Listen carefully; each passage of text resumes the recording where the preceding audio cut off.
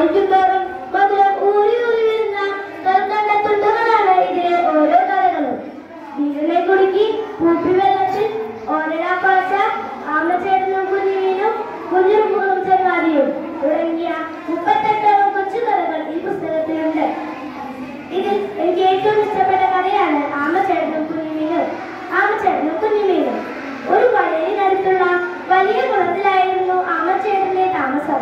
അവിടെ ഒരു കുഞ്ഞു മീനും താമസിച്ചിരുന്നു. ആമച്ചേട്ടന് കുഞ്ഞു മീനെ വലിയ ഇഷ്ടമായിരുന്നു. എന്നാൽ കുഞ്ഞു മീന് ആമച്ചേട്ടൻ